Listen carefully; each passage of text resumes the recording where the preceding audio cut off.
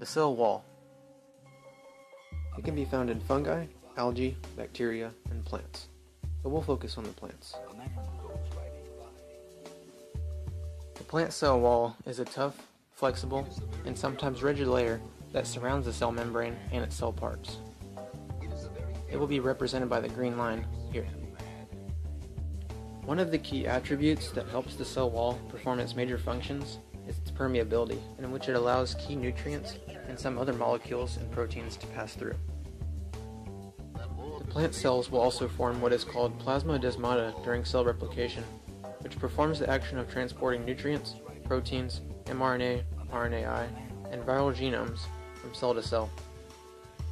The two pathways of the plasmodesmata are the apoplastic pathway that travels through the cell wall and the symplastic pathway that travels through the cytoplasm. Plasmodesma is located here. This is an example of two cells transporting through the plasmodesmata located here, here, here, and here. Moving on, the plant cell wall is composed of a primary wall and a secondary wall. The primary wall surrounds growing cells, or cells capable of growth, and the secondary wall is a thickened structure containing lignin and surrounds specialized cells such as vessel elements or fiber cells. The arrow in this picture is pointing to the John Cena!